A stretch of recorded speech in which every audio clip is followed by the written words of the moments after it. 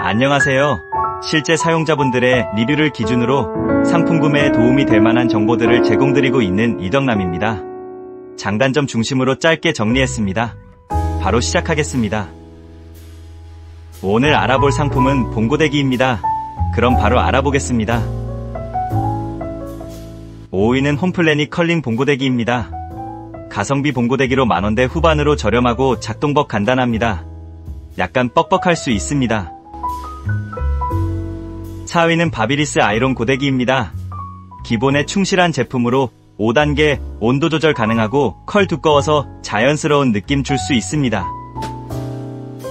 3위는 보다나 무선 봉고데기입니다. 무선 봉고데기로 여행지나 학교에 들고 다니기 좋고 배터리 오래가며 그립감 우수합니다.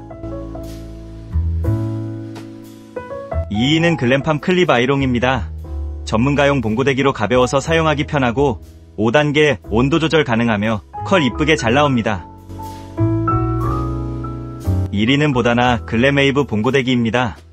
가장 많이 팔린 봉고데기로 작동법 간단하고 예열 빠르며 5단계 온도 조절 가능한 일반적으로 좋은 제품입니다.